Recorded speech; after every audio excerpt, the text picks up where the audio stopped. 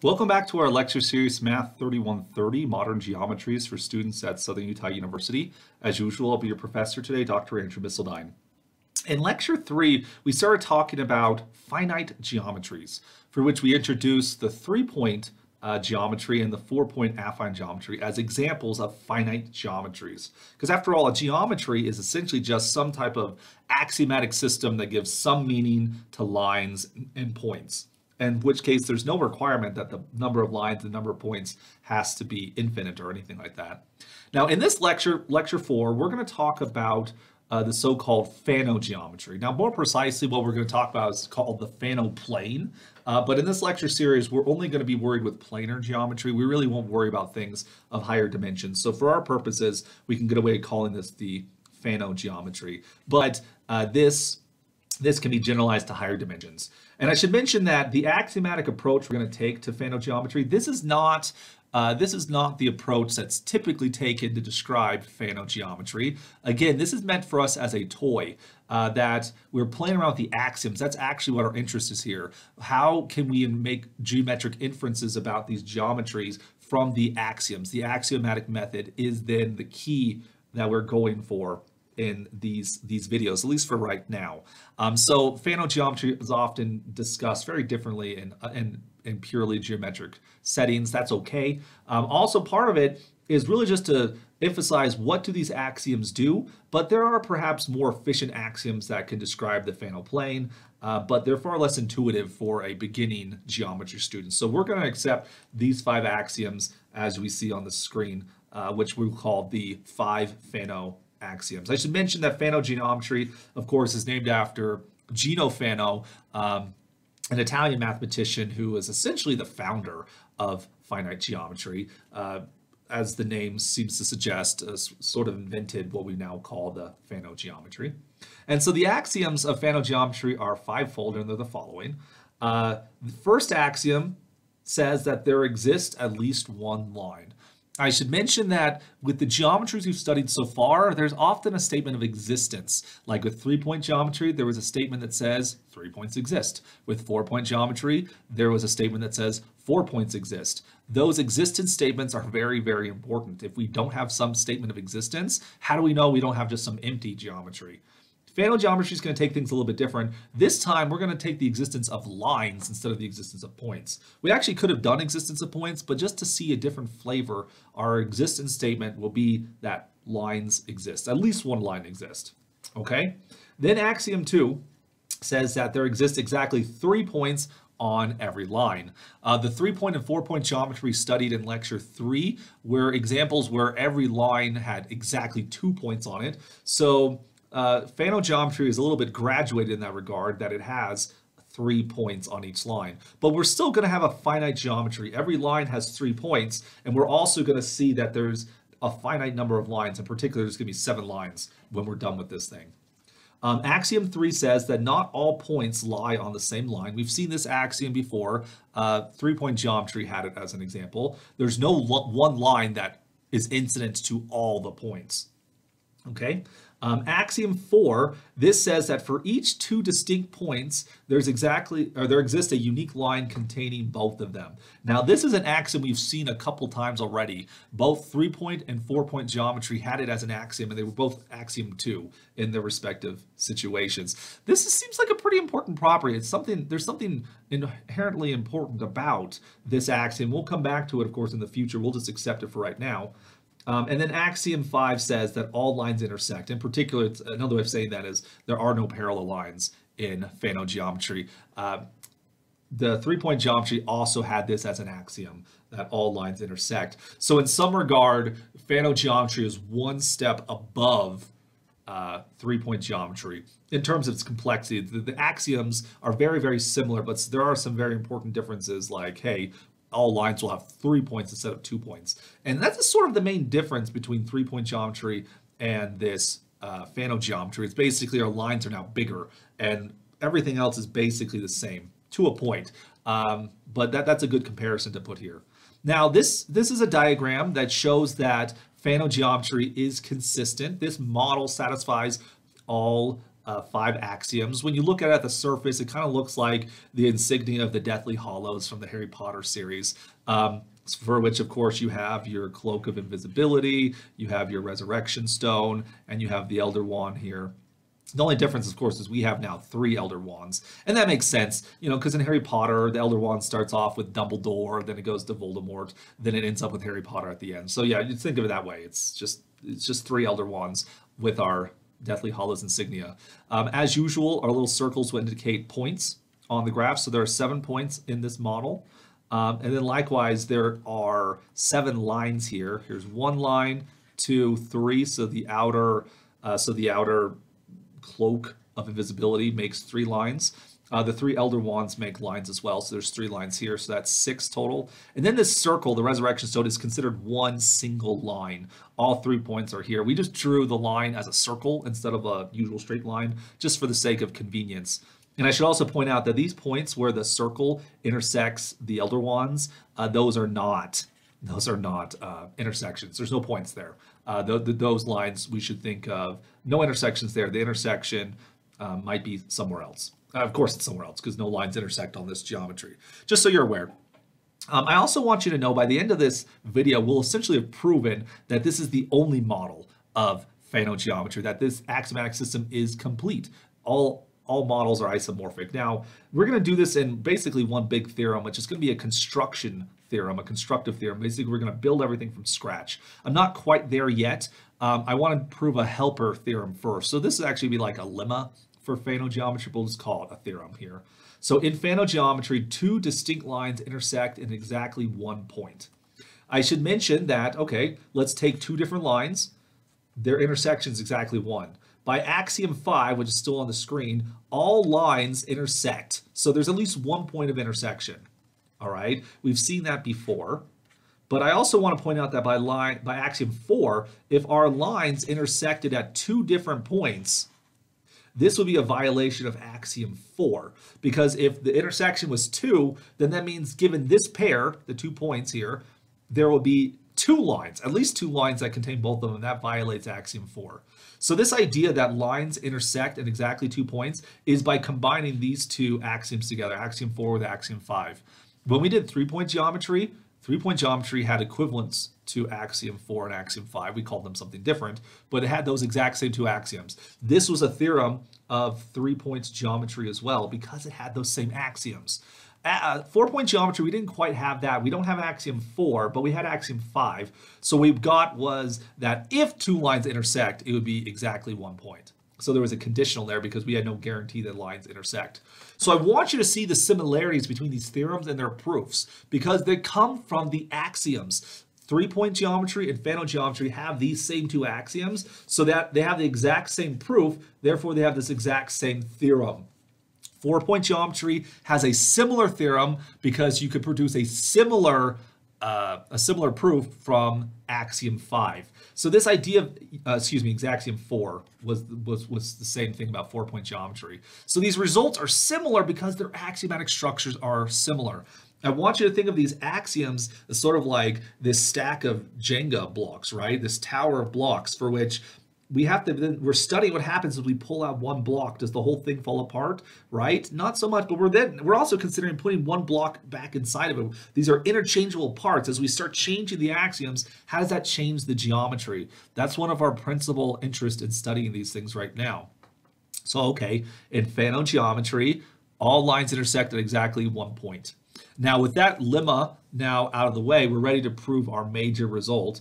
Now in the statement, we're going to prove that Fano geometry always has seven points and seven lines. But I want you to be aware that by the end of this proof, we'll prove actually a lot more than that. We'll have proven that the way that the lines in the seven points and seven lines interact with each other, the way the incidence relation has to be in agreement with the Deathly Hallows insignia we had drawn on the screen previously. And that's going to get this completeness, that every model is isomorphic to the one we started off with.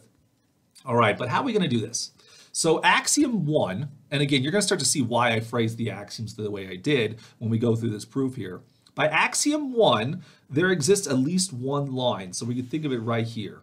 We have one line and let's call it L1, like so. By axiom 2, there exists exactly three points on every line. So in particular, L1 has three points. So we'll call these, we has these three points, and then we'll give them labels A, B, and C, like so. Axiom 3 told us that not all points lie on the same line. So there has to be a point that's not on L1. Call that point D. So now we have four points, one line. Just keeping a tally of where we are so far.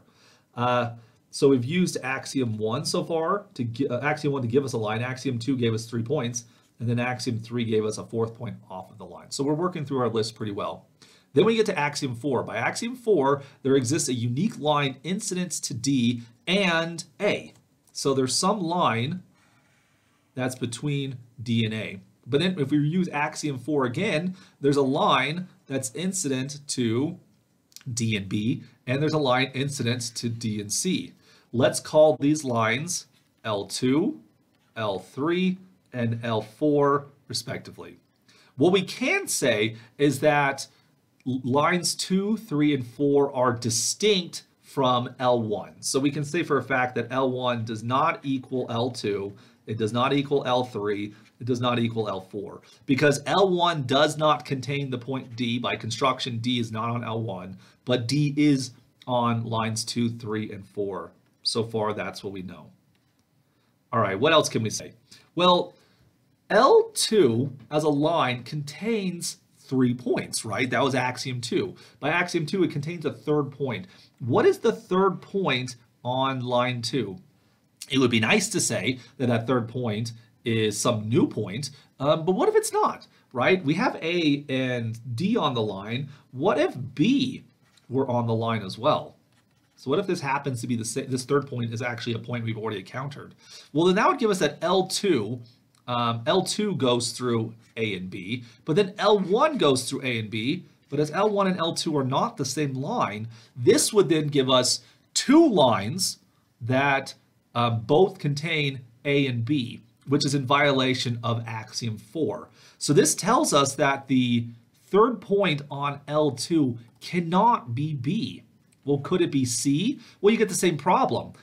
C, uh, excuse me, line 2 would contain A and C, but line 1 would also contain A and C, which would be a violation of axiom 4 again. So it turns out that the third point on L2 cannot be B or C. Um, it's clearly it's a third point distinct from A and D, so it has to be a third point, um, which continuing on in the alphabet here, I guess we call this point E, right? Uh, like so. So then we can ask the same questions as before. Uh, let's look at now L2. It has a third point as well. Who is that third point? Well, if it was A, we would then have two lines that contain A and B. That's a problem. If it was C, then we'd have two lines that contain um, B and C, L1 and L, uh, L1 and L3. That would be a problem as well. So it can't be C. Could it be E now? That's a new point, right? Um, well, L3 contains both D and E, but L2 also contains D and E. Are those the same line or are they different? We haven't yet considered that. Well, L2 contains A, and so notice L2 contains A, E, and D. L3 contains B, E, and D. It's the bed line there, uh, for which those are not the same three points. So those would have to be two different lines. So the fact is now we can say that L3 is not L2 because it has three points um, and it, it doesn't have the same three points as L2 is, so they have to be different lines. So we can actually now say that, let me, let me write this down, we've now proven that L2 at this moment doesn't equal L3. Because like I said, um, L, L2 contains this new point E that was not on, well, maybe it's on the next line, so we're trying to figure that out. Um, but when we start considering if it was, if E was here, we get these two lines between DE but they don't agree on A and B, right? So they're different lines at that moment. So that would be a contradiction to that would be a contradiction to axiom 4 as well. Same thing going on here. What if this other point, well, we've done all the other points, so it has, E can't be this new point, so it has to be some new point, we'll call it F, all right? Uh, so, but we also know that L2 and L3 are different. Now let's come over to L4. It has a third point. What is that point? Well, it can't be A for the same issues we saw before. There'll be two lines containing AC. It can't be B, because then we have two lines containing BC. It can't be E because then we have two lines that contain D and E, right? But why do L4 and L2 disagree with each other, right? If E was the third point, then we know that third point's not A. A is on L2, but it's not on L4, so that would, that, that can't be the case. That'd be two different lines. Um, and so then that other point, another, I guess another simpler way of saying this, we've already concluded that A is not on L4, it's on L2, so it can't be L2. Uh, so we know that L2 is not equal to L4 anymore right? But could L3 and L4 be the same line somehow, right? Uh, maybe by accident. Could this point be F? Well, the same issue here is that if this point's F, which is not B, that means B is not on L4, so they're different. Um, and then you have two lines that contain D and F that would contradict axiom 4. So basically, I'm going really quickly through these proofs by contradiction. It can't be F. So it's going to have to be some new, some new point here let's call it now G, for which then this proves, like we said before, L2 is not 3 and 4 because they have different points, but also 3 and 4 are not the same line. So we've now at this point have constructed seven points, notice them, A, B, C, D, E, F, G. We have seven points, we also have four lines, L1, 2, 3, and 4. That's what we've constructed so far. Uh, we're going to continue on, of course. We still need to find three more lines. We'll get there in a moment. But what I want us to do, at least for the moment B, um, is analyze what it is we've constructed so far. So if I keep track of just the lines we have here, L1, L1 contains A, B, and C. L2 contained A, D, and E. L3 contains B, D, and F, and then L4 contains C, D, and G. So we have to come up with these three remaining lines, but this is what we've constructed so far. Okay, uh, I'm going to zoom out a little bit so we can try to see the next paragraph in our diagram. It's going to be a little bit hard to do, so I have to zoom it out. I know it's going to be very difficult to read the next one, but really if you're just listening to what I'm saying, um, you're going to get the proof right here. This is, a, this is one of our lengthier proofs in this lecture series. Um, so what have we done so far? Uh, so we've now accommodated for G and all, the, all these seven points. So we know these are all different points now. So what I want us to consider next is this paragraph of the proof. Sorry, it gets a little bit lengthy. This is a very long one here. And so what we have to do next is consider the line, because by axiom four, there's a line that connects together A and F, right? There has to be some line that connects them. But what's the third point on this line that's given by axiom 2? I, have to point out that we haven't yet used axiom 5. This is the point where we start using axiom 5, that all lines intersect to each other, for which this line, let's call it a L5 here, L5 has to intersect L4. Clearly, it intersects L2, um, L1 at A, and it intersects L3 at F, but where does it intersect L4? That's the kicker here. Well, it's got to be one of these three points here. Does it intersect at D? Well, if L5 contained D, since it contains A, then we'd have two lines that um, contain AD, which this is a different line from L2 since L2 doesn't have F. So it doesn't work. Um, does it inter does it contain C? Well, no, same thing. Another problem with axiom 2 there. We'd get a point um, that oh, sorry, we have two points which are contained on two different lines. That's not a possibility. So then we, from there, have to infer that the third point on L5 must, in fact, be this point G. Let's play this same argument here with the points B and E. There's got to be a line that contains B and E together. Let's call that line L6 now. Um, but L6, same type of game as before, um, L L6 cannot be parallel to L4. Um, because L6 contains B, it intersects L1 and L3. And since it contains E, it'll intersect L2, right? Um, so we can't let L6 be parallel to L4. We also have the problems, we can't have L6 be parallel to L5 right here, but we'll actually be able to get that automatically when we consider the next part here. Same thing as before, how does L6 intersect uh, L4? Is it by C? Well, then we get two lines that contain both B and C. Is it D? Well, then we get two lines that contain D and E, uh, which doesn't work. So then the, the third point has got to be G. That's the only other point available to us. So we fill in L6 in this following ray right here. So let's note what we have. Um, L5, is containing A, F, and G. And then we also had that L6, bring this down, it contains, uh, what were the points? B, E, and G. So now we have one line left to go with. And you can probably see where we're gonna how we're gonna play this game here. So we're gonna take the line that goes between C and F. Like so. C and F. Well, C and F intersects L4 and L1. That's great. It'll also intersect L2, excuse me, L3, but what about L2? How does he intersect there? Well, it can't be D because we have two lines that contain D and F. It can't be A because then we have two lines that contain A and F, but also A and C problems there. So it's got to be E. It's the only other way that they could not be parallel. And so this is going to be our line L7 for which, oops, let's add that onto the screen here. L7 is going to have to contain the points C, oh boy, what are the other points? I can't see them on the screen anymore. C, F, and E. And so we've now constructed um, our lines, our seven lines, and the seven points. So you'll now notice that this is the picture we've constructed. This looks like the picture we had before with our seven points and seven lines. Now when we look at the last paragraph, why can't there be, and I'm going to zoom in on this one now, why can't there be another point or another line? Right? Those are things that have to legitimately be considered in this situation. So I'm going to kind of redraw our diagram really quick. Uh, so we have our points, lines,